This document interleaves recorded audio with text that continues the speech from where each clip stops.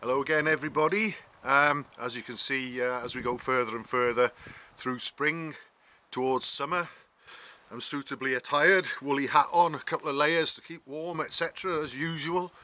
Um, this is uh, a little bit of a different sort of rant and uh, I'm on my coffee break now. I've just been out on, for those who've been following it, the BSA behind me seems to be fixed and uh, I had to do a little bit of a mercy run on that this morning and an errand and thank God it kept going in both directions so that's good news. But um, what happened, what this is about is uh, yesterday evening as I sometimes do, I walked the uh, mile and a half or more to the next village where there's actually still a pub open occasionally. Anyone remember those pubs?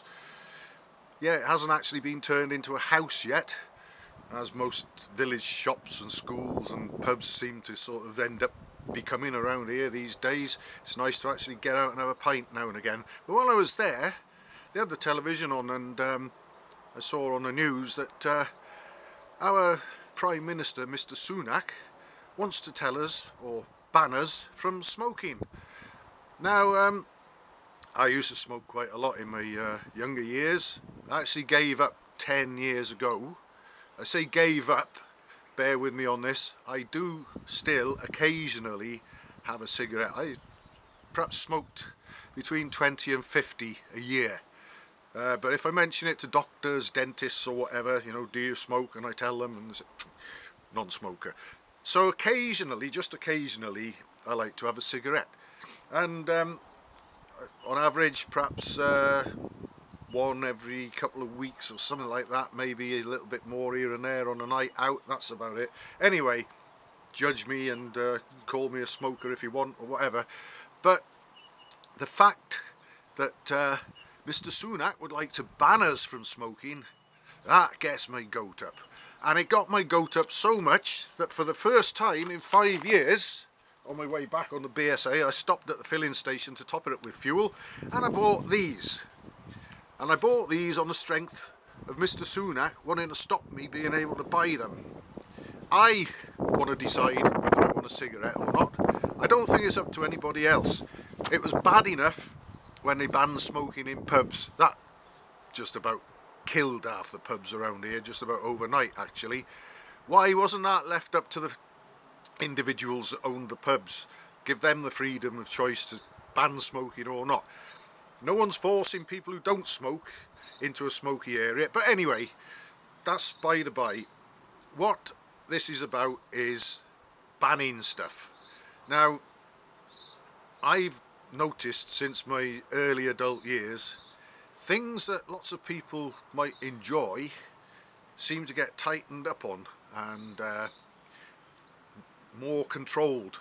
That when I was sort of 18 years old, 19 years old or something, right or wrong, I would jump on a bike like this, go to the pub, maybe have three pints or something. Sometimes there'd be a pub open on the way home from work and we'd nip in and have a couple of pints on the way home. I'm not on about getting plastered, but to be honest, if I had one pint now and got on a motorbike or into a car to drive home, I'd be nervous and twitching, wondering in case I might get stopped to be over the limit. And out of interest, I've had quite a number of road accidents. Uh, some have been my fault, most of them haven't. Every single one of them, I've been sober when they've happened. Not a drop inside me. Every road accident I've been involved in. So uh, I've ridden motorbikes less so driven cars and things with beer inside me over the years. And perhaps I was just lucky and got away with it.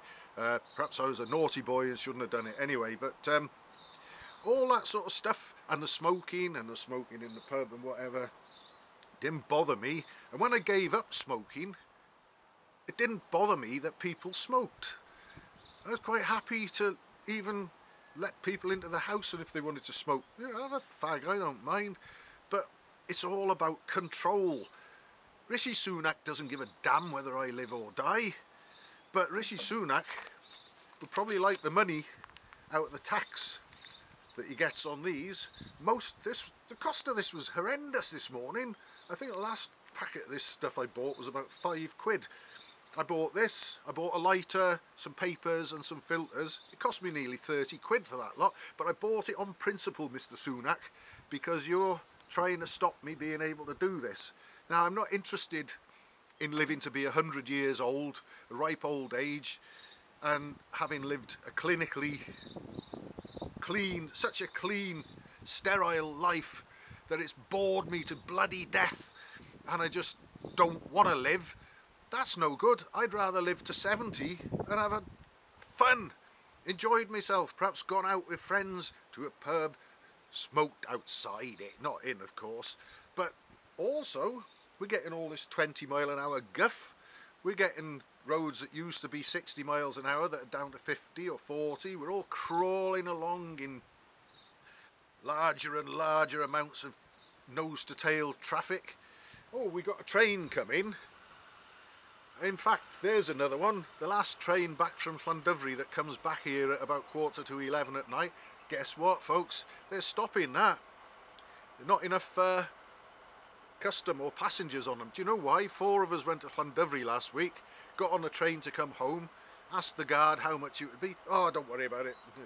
So there's four people that were on the train that weren't on the train in the count of the passengers which is so low that they're stopping the service. It makes you want to cry actually doesn't it? Anyway, um, got me a cup of coffee here, there's the train going, I don't think you saw it but you can hear it. How long that'll carry on for before that becomes a cycle track, God only knows. What I need to do now, and this is dedicated to Mr Sunak, I wouldn't normally be doing this today, right now.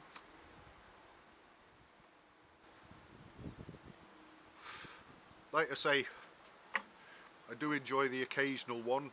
Sometimes when I'm out on what we call Muddy Friday on the motorbikes with my friends and just occasionally at the pub if a friend or two are up there that happen to smoke and I get offered one. But this one, I've gone out of my way to have this one to dedicate it to you Mr Sunak and just think if anybody thinks what the government going to do all the money they get for this in taxes and everything well I'll tell you what they'll do if they ban smoking.